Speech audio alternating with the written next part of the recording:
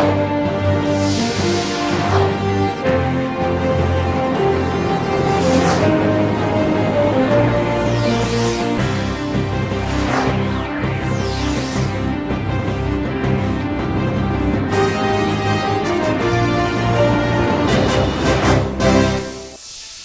ัสดีครับท่านผู้ชมครับ วันนี้รายการมองโลกแบบวิกรมนั้น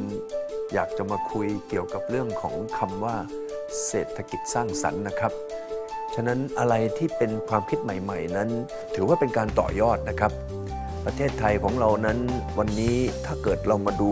ทางด้านการพัฒนาอุตสาหกรรมหรือเศรษฐกิจทางด้านนี้ค่อนข้างจะอ่อนแอครับ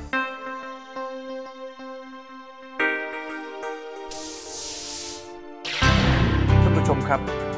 สิ่งหนึ่งที่น่าสนใจนะครับว่าประเทศอเมริกาก็ดียุโรปก็ดีนั้น วันนี้เมื่อเขาคิดค้น เกี่ยวกับเรื่องของเศรษฐกิจสร้างสรรค์แล้ว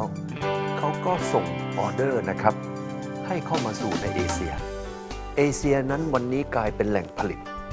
ไม่ว่าจะเป็นการ์ตูน ไม่ว่าจะเป็นเรื่องราวต่างๆ ที่เกี่ยวกับเรื่องของมัลติมีเดีย สิ่งเหล่านี้นั้นตอนนี้กำลังกลับย้อนกลับเข้ามาว่า ยุโรปอเมริกานั้นเป็นต้นแบบต้นคิด แต่สายการผลิตนั้นกลายเป็นเอเชียครับ อินเดียนั้นถือว่าเป็นผู้ที่ มีความชำนาญในทางนี้มากนะครับ เศรษฐกิจของอินเดียนั้นขยายตัวถึง 23%ในเรื่องของทางด้านของเศรษฐกิจสร้างสรรค์ แล้วแน่นอนครับ วันนี้ใกล้บ้านเรานั้นมาเลเซียก็กำลังสร้างไซเบอร์จายาถือว่าเป็นเขตอุตสาหกรรมมัลติมีเดีย สิ่งเหล่านี้ถือว่าประเทศไทยนั้นควรจะต้องหันกลับมาดู แล้วก็มาดูซิว่าประเทศไทยของเรานั้น เราจะทำยังไง ผมเชื่อนะครับว่า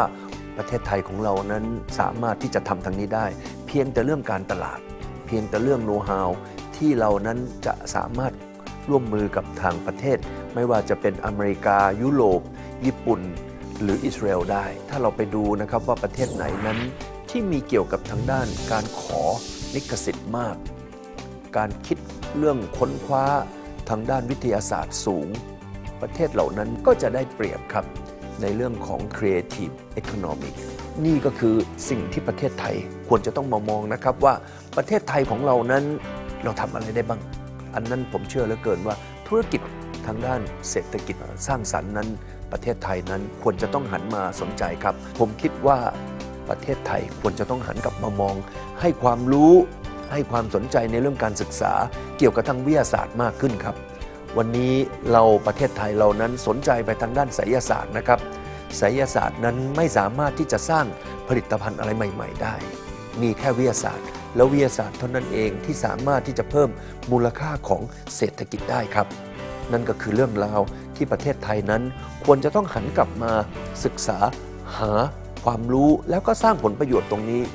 R&D หรือเรียกว่าค้นคว้าวิจัยนั้น จะเป็นสิ่งที่เมืองไทยควรจะให้ความสนใจมากที่สุดครับ มิฉะนั้นเราจะถอยหลังเข้าคลอง หรือจะช้าที่สุดในประเทศที่กำลังพัฒนาครับ นั่นก็คือเรื่องราวทั้งหมดที่เรากำลังจะไปคิดกันถึงในอนาคตของเศรษฐกิจในเมืองไทย ขอบพระคุณทุกท่านครับ ที่ติดตามชมรายการมองโลกแบบวิกรม สวัสดีครับ